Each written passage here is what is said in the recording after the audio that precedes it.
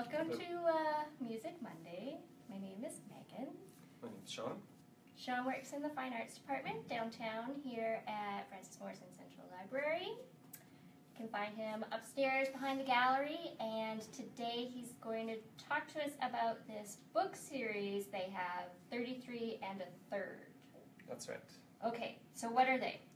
So, um, 33 and a third um, are a series of fun books about um, albums. Um, this, this series started in about 2003.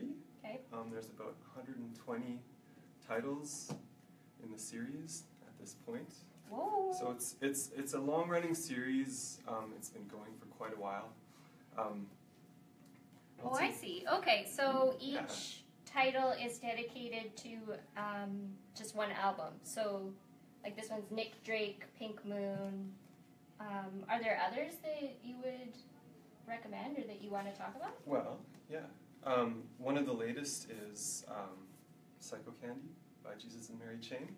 They just put out a new album um, Oh. last month, I think, called Damage and Joy. Don't have it here with us right now, but it's in the system. Okay, I'd like to talk about a couple um, other 33 and a third titles, though, okay. and kind of tie them to some new albums by the artists. Oh.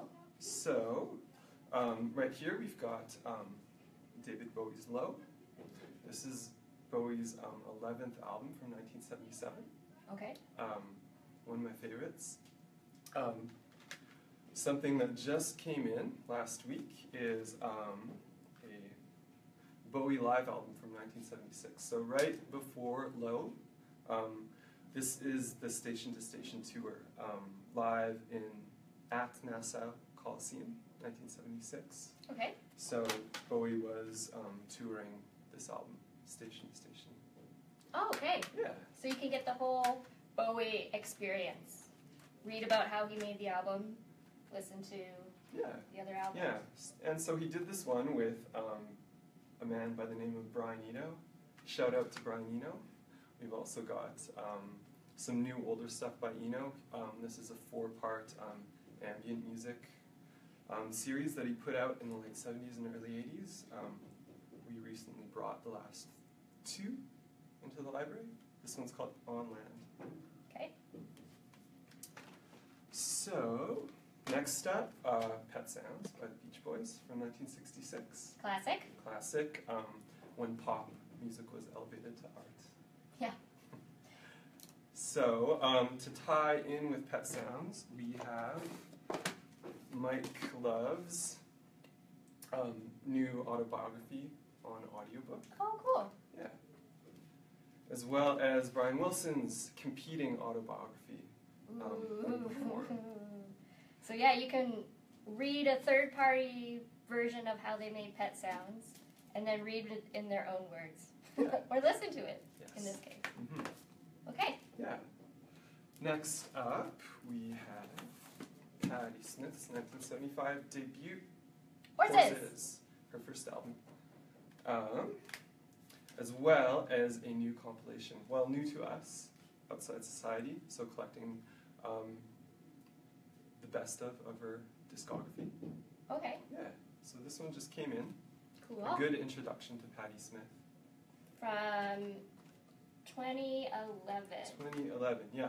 Okay. And she's pretty prolific, not strictly with music. Um, she's released quite a few, uh, she's released two mo- memoirs in the past um, five or six years. This is her latest. It's called M Train from 2015. Um, it's kind of the sequel to Just Kids, which is, I listened to Just Kids Yeah. as an audiobook, and she reads it herself, which is amazing. Like it just captures the whole narrative of her life perfectly. yes, yes. I'm very excited to, to read this one um, if you love Just Kids. This one will be great as well. A lot of coffee talk, apparently, as well. Mm-hmm. Yes, Yes. I read it. It's good. Is it? Cool. Yeah, so we've got lots of Patti Smith here at SPL. We've got her latest uh, CD, uh, Banga from 2012, as well as a really um, great documentary about her life, Dream of Life, from 2008. Okay. Yeah. If you ever take CDs out from the library and they have rubber bands on them, you can just remove those. We have and keep the rubber bands. We have lots. Got lots. yeah. okay, next up, um, Neil Young's Harvest from 1972, his fourth album. hmm Maybe his most well known. These are all classics. Yes. 33 and a third, yes. I'm sensing, is about classic albums. Yes, yes, Okay. generally, yes. Cool. So, Harvest, um, we've also got um, Neil's newest album, Peace Trail. I believe this came out late last year. Just got it in here at the library. Um, Okay. Similar um, sort of aesthetic, that beigey yellow cover. Yeah. Yeah. I'm sure Neil Young has complete control over how his merchandise is branded. hmm And then yeah, we've got tons of other um, Neil Young stuff at the library. Um, DVDs, Heart of Gold, um, things like Decade, his classic uh, best of from the '70s, as well as his autobiography, Waging Heavy Peace. Ooh. Hippie Dream. Mm. Yeah, which is a fun read, very um, loose storytelling, but a good read, a good window into Neil's mind. Neil Young, everyone. Okay, and, And one, one more. yes. Um, the soundtrack from Twin Peaks, Ah, yes. Um, okay. the new Twin Peaks series, I think, um, airs May twenty first on Showtime. So I wanted to talk about this one a little. So this, uh, the original series started in ninety, um, went for two seasons. Um, was canceled midway through its second season. Um, this soundtrack is a classic. Um, if you've if you're somewhat familiar with Twin Peaks, you know the theme song by Angelo Badalamenti. He did a lot of work with um, with David Lynch, hmm who created Twin Peaks. David Lynch did a lot of classics like Oh, we have his Eraserhead. movies. Oh, look at that. Um, Angelo did the soundtrack to um, Blue Velvet, Lost Highway, um, the feature film version of Twin Peaks. Um, yeah, Is that Firewalk with Fire Me? Walk with Me. Okay. Yes, yes. There you go. So um, yeah, we, we also have the entire Twin Peaks series here at the library. Just a shout out to that, as well as some books.